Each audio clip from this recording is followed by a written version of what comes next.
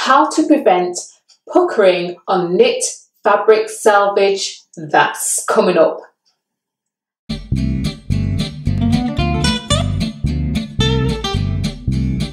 If you're looking for clear and concise fashion sewing tutorials, consider subscribing. Let's get started. I'm going to share some tips with you when it comes to puckering that's happening in your fabric, in your knit fabric in particular. Now I'm going to share with you one tip in order to release all that tip, um, that puckering that is happening and you need to make sure you do this before you put your pattern pieces onto your fabric. So here I have my fabric and as you can see there are lots of folds that are in the fabric itself. So what's happening here is the selvage is making these puckers. So what's happening here is the selvage is puckering the fabric itself and you shouldn't put your pattern pieces on there when it's looking like this but there is a little tip that I want to share with you in order to make sure that your selvage allows the fabric to lie flat. So if I just pan out just a little bit.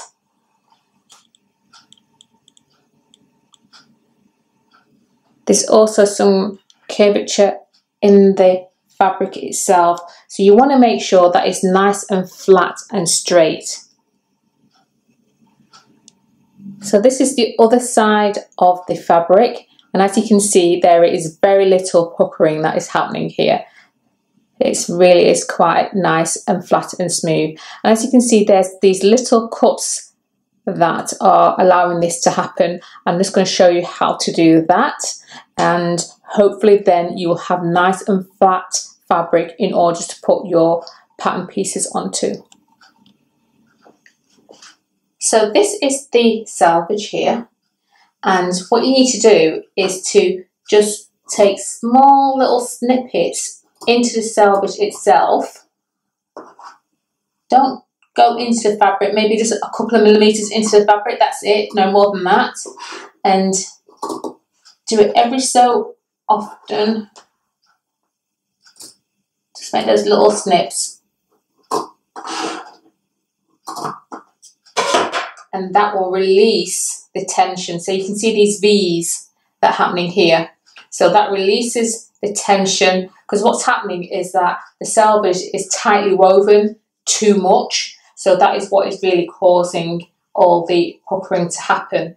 And as you can see here, I've now released that tension. So the fabric now should be a lot flatter than this area here. If you're looking for more information on selvages, click this eye here that's in a circle. That um, I've got a playlist that's there, so maybe that will be of some use to you if you have any issues with selvage or you want to understand more about what selvages are. I hope you enjoyed the video tutorial. If you did, please give it a thumbs up.